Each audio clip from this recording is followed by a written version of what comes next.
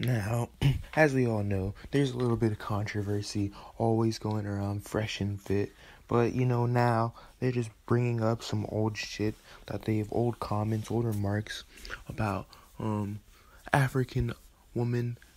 But uh yeah, we're not here to talk about Fresh and Fit necessarily specifically. Because this question of being a sellout, being black and not liking black women that that's like been a thing long far before this recent controversy um around fresh and fit so i just want to talk about it. Um as i had a video idea for this shit and it was a couple months ago and i literally decided to scrap it because i was like this is not fit for youtube currently. I'm so blowed because i actually sat on top of that for the longest time and recently decided to scrap it so I guess I'm just uh, uh, late to the punch. Yeah, so let's just start off with the fresh and fit part of this uh, controversy.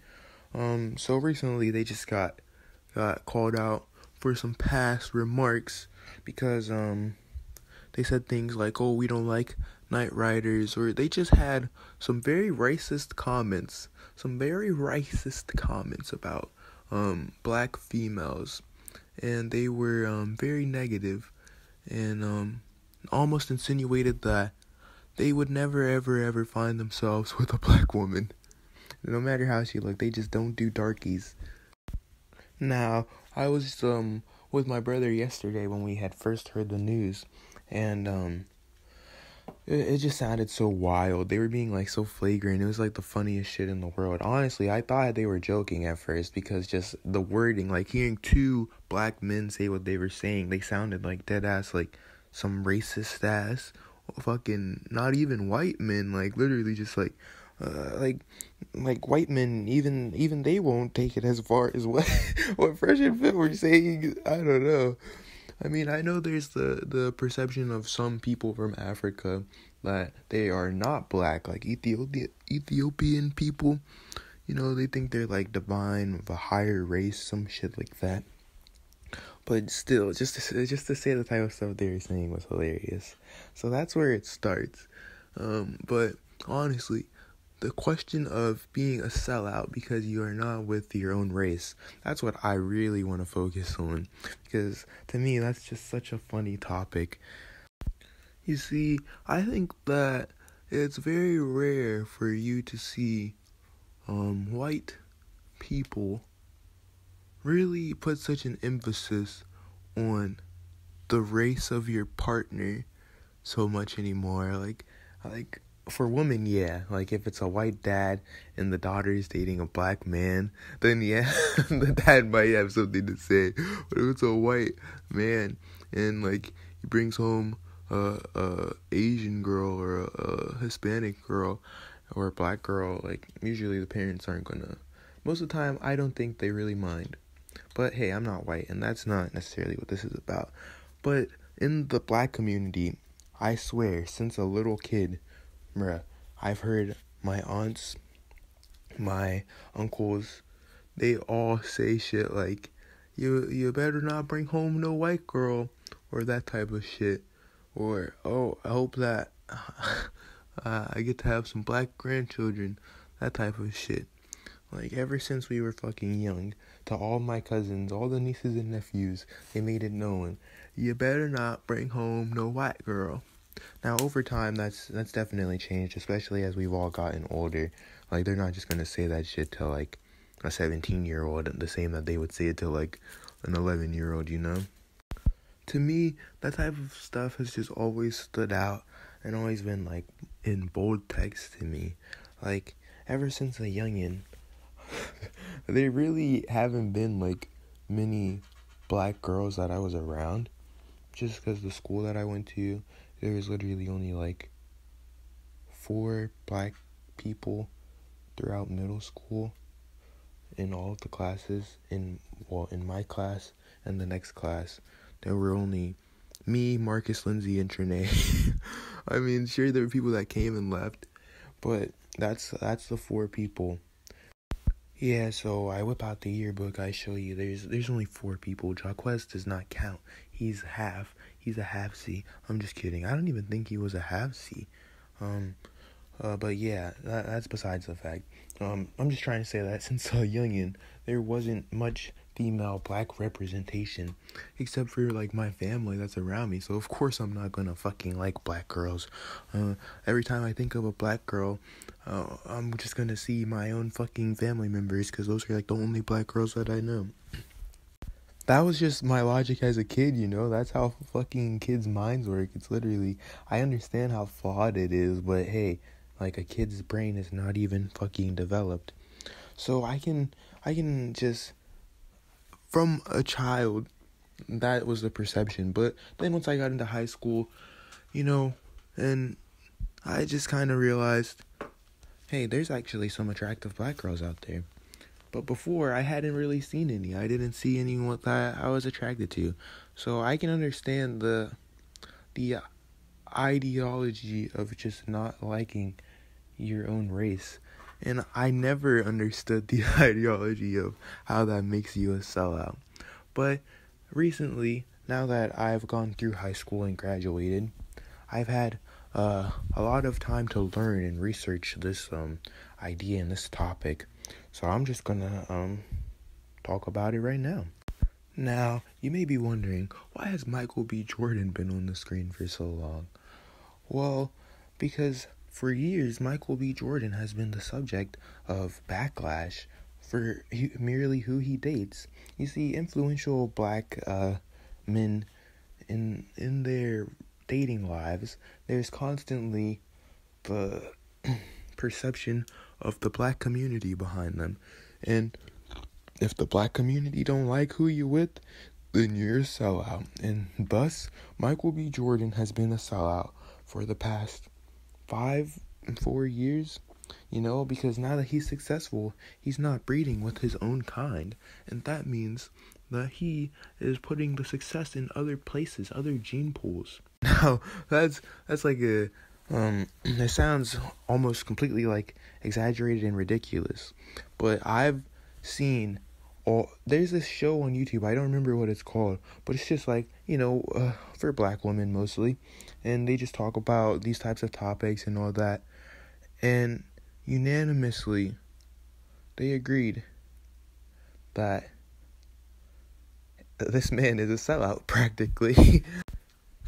it's just um to me like the idea that who someone is dating defines who they are as a person or just the idea that in order to to prosper or respect or support the black community.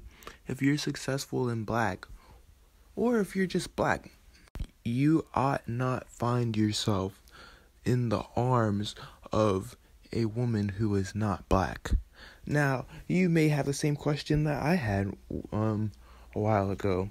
So what if I'm black and I find myself dating a uh, Japanese girl? Well, actually, you see, you become slightly less of a sellout, but still, in a way, you're a sellout because she's not black.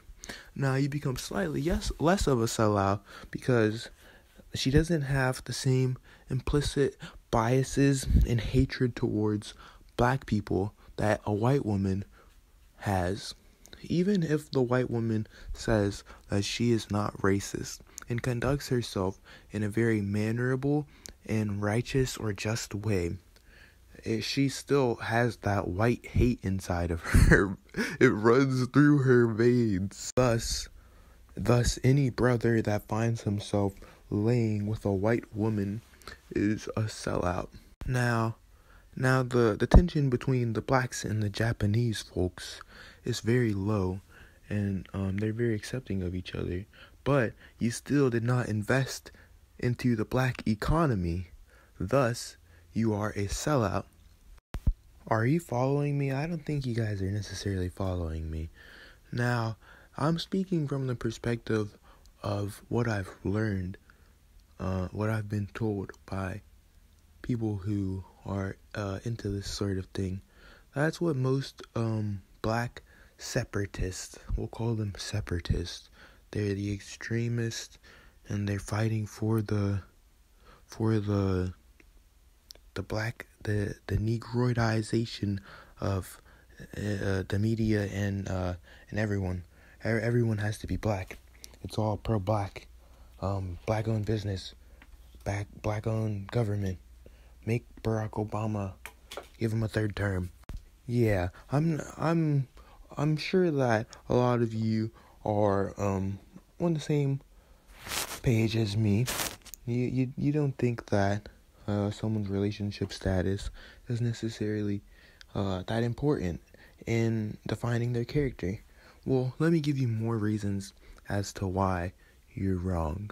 You see, if you're a black man and and you truly are pro black and you truly support um, the the black community, then you're not going to go out of your way to be with um, a woman who is not black. Because when you have children with said woman, she will not be able to provide the infrastructure of a black household. Okay, that that's enough of that. I think I did a good enough job explaining the the side of the argument that is in support of calling anyone who dates outside of their race a sellout.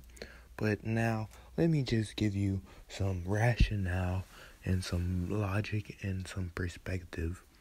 Now, in the 21st century, most people do not let race uh, become a, a defining factor in defining someone's character. So if you're white and you're a shitty person, if you're black and you're a shitty person, I don't really want anything to do with you. It doesn't matter what someone's race is. That's that's the ideology that most of us youngins have adopted. You know, we we actually tend to generalize probably the most, but um even even then we we understand that every generalization is going to have the polar opposite. So you got to keep in mind that not everyone is the same. Now, I would just like to bring up an argument that, not an argument, but just a point in a conversation I had with a respectable black man in my life.